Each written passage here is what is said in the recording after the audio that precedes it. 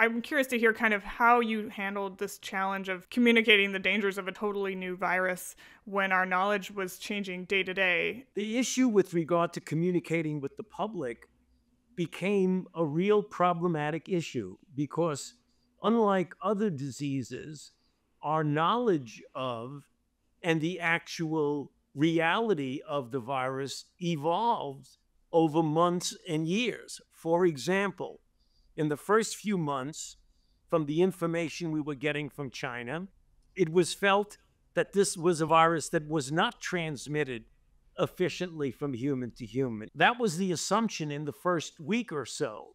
But when it got to Europe and Italy and then the United States, it became very clear that the virus was transmitted very efficiently, number one. And then as the weeks and months went by, we found out something that was very sobering is that the transmissibility, about 60% of the transmissions was from someone who had no symptoms at all, which was really very much unprecedented in respiratory illnesses.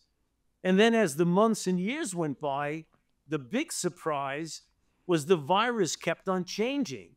We had different variants. So it is difficult when the public wants definitive answers that are immutable when you're dealing with an evolving situation.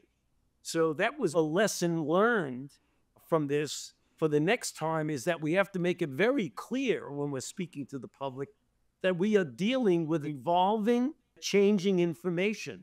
And the science is a process that's self correcting, that when we get new information, it may differ from the information we had two, three, four, five months ago. And we've got to make it clear that that is because the virus and the outbreak is changing, not because scientists are flip flopping.